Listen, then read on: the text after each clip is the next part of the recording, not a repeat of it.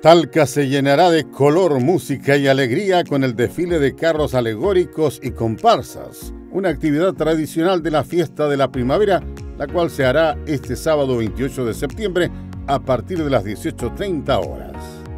El evento tendrá animada presentación de músicos, malabaristas, zanquistas y marionetas, quienes abrirán el desfile acompañados de las reinas de la primavera y tradición 2023 junto a las finalistas de los distintos territorios.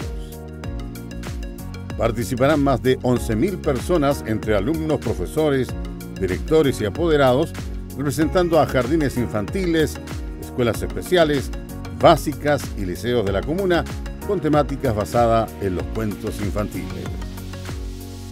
Igualmente, los 10 territorios presentarán sus carros alegóricos, cuya temática en esta edición será las maravillas del mundo. Además habrá una exhibición de autos clásicos con aproximadamente 26 vehículos históricos y la presencia de motoqueros. Para cerrar el show se presentará el artista chileno de cumbia, quien pondrá a bailar a todos los presentes en la Plaza de Armas. Este sábado 28 va a ser el desfile de carro alegórico a partir de las 18.30 horas y el, sábado 5 de octubre tendremos también la gala en el Parque Río Claro, que creemos que también este sector convoca no solamente a nuestros territorios, sino que también a la familia Talquina y creemos que es un muy lindo espacio para desarrollar esta y otras actividades culturales. ¿Este desfile el 28 participan como es clásico los colegios?